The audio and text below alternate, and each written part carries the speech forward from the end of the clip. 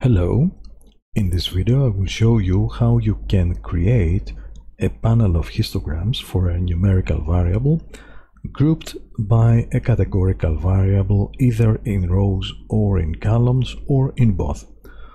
Suppose that we have uh, the mathematics score for a number of students and we want to create a number of histograms grouped by gender and by whether they smoke or not.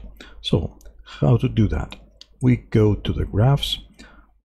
One way is to check the legacy dialogues, the histogram, and from here we pick the mathematics score, we place that to the variable box, and then we, we define our panel by rows and columns or both. Suppose that we have as a row the gender and as a column the smoking uh, option. If we press OK, you see that we generated a panel of histograms where we have the mathematics score on the horizontal axis and the male and female as a row and the smoking as a column grouping. So we see here in the first, in the top, in the top left, we have male who do not smoke and as you can see it's pretty informative. While for smokers we see that the number is is very uh, limited for both whether it is female or male. We can create the same graph by using the chart builder and defining the same more or less approach.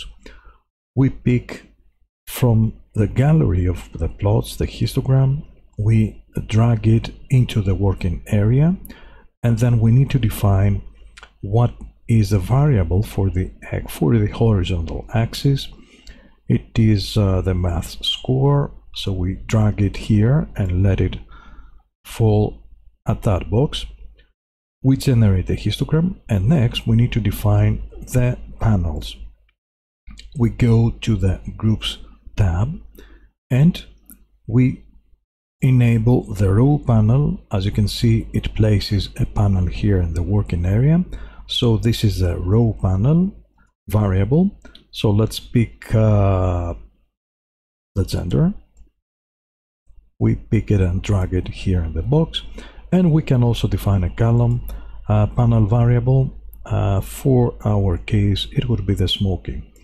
As you see it has pre-generated uh, a preview of our uh, panel of histograms uh, we can define any details here to the right side. If we press OK, the panel is ready.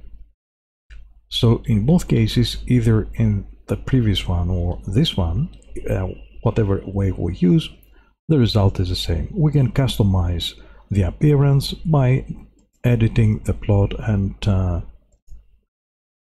using our own uh, preferences. Thank you very much.